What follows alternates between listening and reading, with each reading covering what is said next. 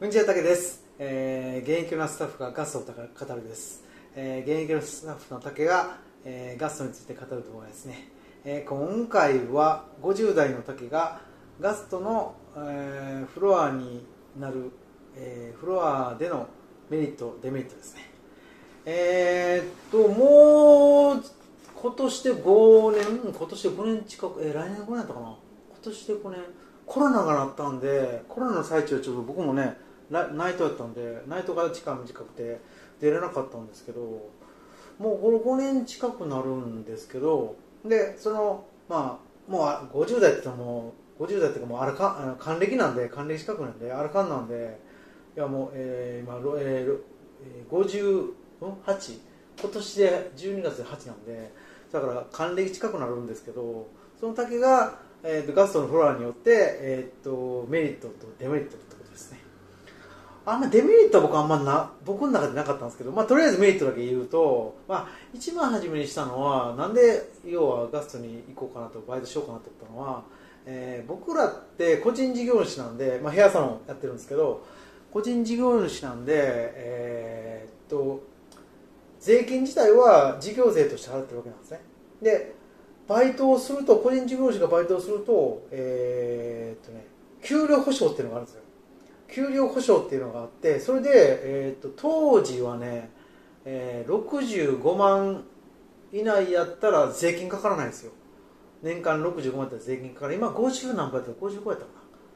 なぐらいなんでかからないっていう。のがわすすごい得やなと思ってほんで僕この仕事に入ったんですけどだからその結構自営の方とかやったらね、あの給料控除っていうのはねかなりねまるまる税金かからないのが今やったら50万近くあると思うんであるんで全然ね、まあ、大きいんで普通だったら10%かかるんでね。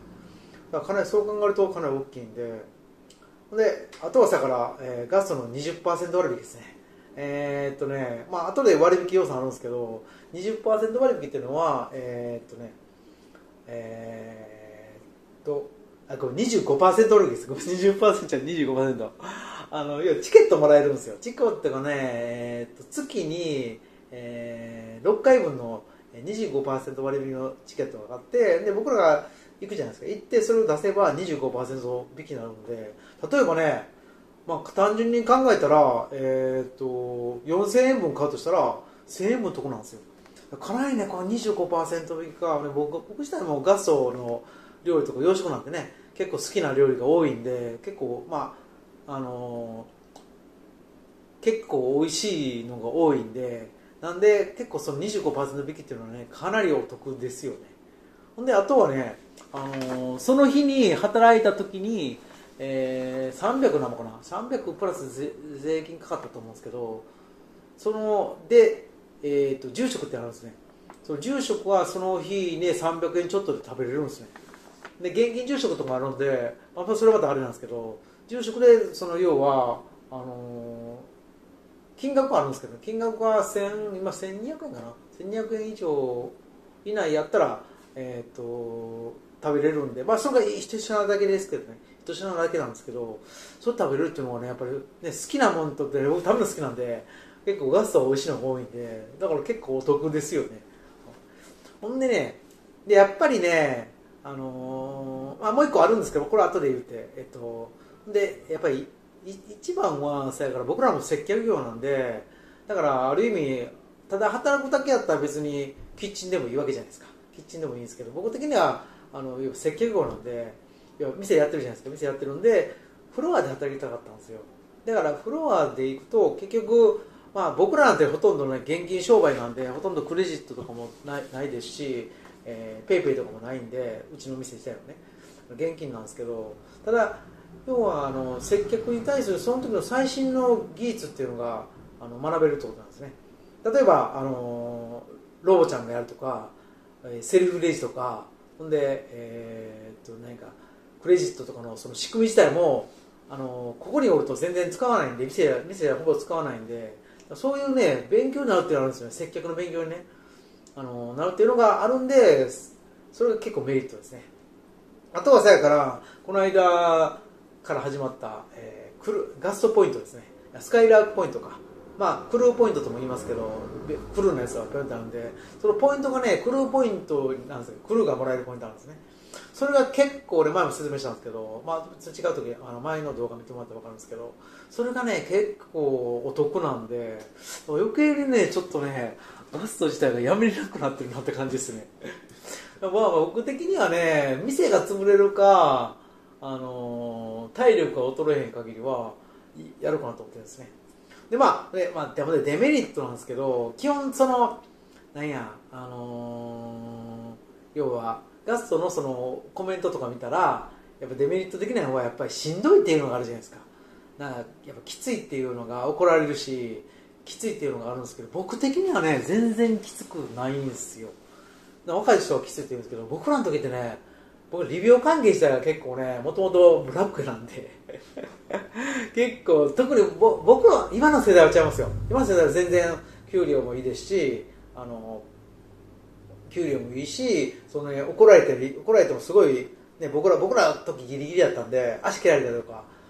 いやまあ殴られることないですけど足切られたとかとかしてましたから、まあ、まあ僕は悪いんですけどそれをね、まあ、僕はちゃんとしてなかったら悪いんですけど特に僕若い時全然ちゃんとしてなかったから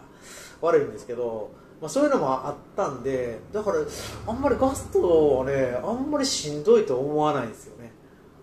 ただねそのもうアラカン先言ったみたいにアラカン近くなってるんであのね体力は結構いるかもしれないですね。50代からやるのは結構しんどいかもしれないです。あのー、僕の場合はまだ体力ある方なんでマシなんですけど50代ぐらいの人って結構体力がないとか聞くじゃ聞くんでお客さんとかでね。聞くんであの体力がないときついから僕もねもうあと10年ぐらいも65、6ぐらいまでいけるかなと思ったんですけど腰も最近痛くなってるんですよ。なんで腰痛くなってるんでだから僕らの年代とか50代とか60代の人は結構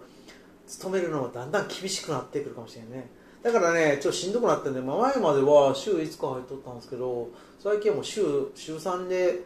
あの決めてもらいましたね。もうそうしないとね腰が痛くて。あまだ腰痛くなったら前方かななるんで週3にしてもらってるんでまあまあ全然ねあのほんま痛くなければね週5でもやってもよかったんですけどまあでもねやっぱりあのー、僕らのこのねそのヘアサロンの仕事が一番大事なんで、まあ、生涯現役現役やりたいんで今のうちからねあんま腰とか悪くなっとったらあと、ね、将来ずっとできなくなるのでそれが一番僕にとって大事なんでだからちょっとねあのガストに関しては週3になってもらってますね、えー、そう考えるとね僕的にはねメリット結構多いですね。食べるのも美味しいし。であんまきつさもそんなにねあのサロン関係だったら全然きつく昔はきつかったんで今今はそんなでね全然きつくないと思うんですけどね。頭ごなしに怒ることはないですしと思うんで、えー、以上です、えー、そしたら、えー、50代の竹がガストのフロアにな、えー、フロアになったメリットデメリットですね。メリットは、えー、給料控除と20%割引で300円の住職で接客の最新が学べると。で、えー、ガストのえー、スカイラックポイント、えー、クールポイントがあの作ってことですね。でデメリットはやっぱ体力がいるところですね。やっぱ、えー、あの体がちょっと弱ってくる年になってくるんで50になるとねその辺がちょっときついかなって感じですね。あとはまあまあ多分ね50代の人はね若い時にね今やったらパワーあるとかセクハラって結構あるじゃないですか。ああ厳しいじゃないですか。でも僕らの時って結構ねパワーある的なやつ結構あったんですよ。あったんで多分5の5それに関してはあのある程度は多分強い人が多いんじゃないですかね。だからいけると思いますけど僕ら僕も含めてね。だからその辺はいけるんじゃないかなと思うんですけどね。だからまあ50代の方があのガストにバイト行くっていうのはありだと思いますね。ただまああの腰が痛くなるかもしれないですけどね。えー、以上です、えー、よければチャンネル登録いいねお願いします。そしたら、えー、現役のスタッフがガストを語る人